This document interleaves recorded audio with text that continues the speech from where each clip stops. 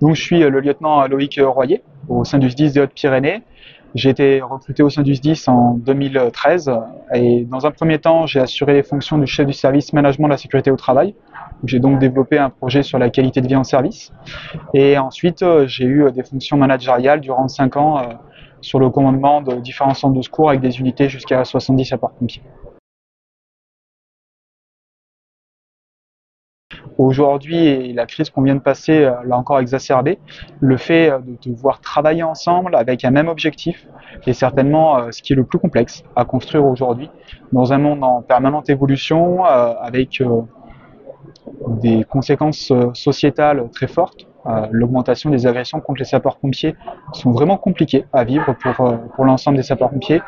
la remise en question d'un certain nombre de missions et euh, des valeurs euh, euh, de services publics qui sont liées à ça sont bah, des enjeux pour le management très forts et ce qui était d'ailleurs un des piliers du projet de qualité de vie en service du 1065, qui était celui d'améliorer d'accompagner et de soutenir l'encadrement, quel que soit son statut, son grade, sa fonction au sein du SDIS, pour pouvoir permettre à tous les agents de, faire, de rendre un service public de qualité.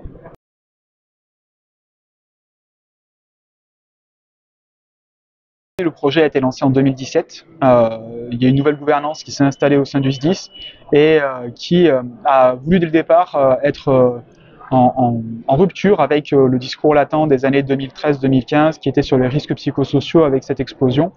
et qui a voulu dire non, aujourd'hui on a dans le secteur privé la qualité de vie au travail qui existe. Et donc, bah maintenant, nous, on va travailler sur ça. Non pas dire ce qui va mal, mais dire qu'est-ce que le travail, comment on fait le travail et comment on peut améliorer ces conditions de travail et cette réalisation du travail. Avec la particularité, c'est que dans un SDIS, on a différents statuts. On a des pompiers professionnels, des pompiers volontaires et des personnels administratifs et techniques. Et nos pompiers euh, volontaires ne sont pas soumis au code du travail. Ils sont, euh, c'est des agents à part entière qui ont une activité à réaliser cette activité de sapeur-pompier. Et donc c'est pour ça qu'on en est arrivé à modifier ce terme de travail vers la qualité du service, pour aussi reprendre non pas la notion de performance qu'on a dans l'accord interentreprise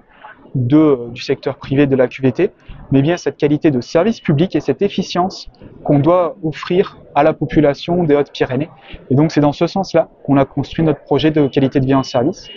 qui aujourd'hui a été repris au niveau national par la Direction générale de la sécurité civile et de la gestion des crises. Dans le cadre de tous les référentiels formation, on a maintenant la santé, sécurité et qualité de vie en service qui sont reprises dans l'ensemble de ces aspects. On est parti de tout ce qui avait déjà été fait dans le SDIS on a repris tous les questionnaires, tous ces aspects-là, qui avaient créé du ressenti vis-à-vis des agents, où euh, ben, on se disait il y a plein de choses qui euh, ont été faites, mais il n'y a pas eu d'action derrière. Donc on est parti de ce principe-là, d'analyser l'existant, de dire ben voilà, on a tout ça, et, donc euh, il n'y aurait pas rien qui a été fait, au contraire, on est là-dessus. Donc maintenant, à partir de ce qu'on a là, comment on va construire la suite, cette qualité de vie en service ensemble, pour arriver à avoir en résultat concret ben, la création du bande dessinée dans lequel on, avec lequel on a été associé via la Mutuelle nationale de sapeurs-pompiers, la création d'une formation à destination des sous-officiers de garde, qui est le premier niveau d'encadrement, et la mise en place d'espaces de discussion sur le travail, qui aujourd'hui euh, ben, euh, permettent euh, à une centaine de personnes d'échanger sur ben, les conditions de réalisation opérationnelle et en intégrant aussi des personnels administratifs et techniques dans ces espaces de discussion. Alors, en résultat concret, bah, c'est, euh, comme je l'ai dit déjà, la prise en compte de ces aspects-là au quotidien, euh, le fait que c'est ancré dans la structure, et euh, c'est là où c'est toute la complexité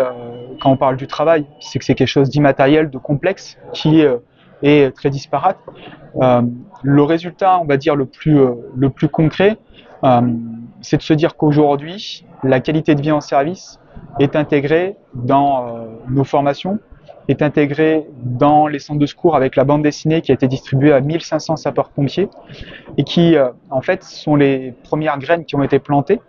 Parce qu'on va être très clair aussi, après deux ans de crise sanitaire, le projet bah, a été mis en veille parce qu'il y avait d'autres situations à gérer. Par contre, on sait qu'on a les outils, on a nos espaces de discussion avec les modalités de la réalisation, on a notre culture euh, qualité de vie en service. Donc maintenant, bah, c'est euh, quels sont les projets qu'on va construire à partir de là parce que les agents sont demandeurs de ces aspects-là, en sachant que le postulat qu'on avait sur notre démarche initialement, c'était de créer un collectif de travail fort en accompagnant l'encadrement. Donc on commence à accompagner l'encadrement et donc on espère avoir rapidement bah, des collectifs qui se créent aussi naturellement sur le fonctionnement de la structure.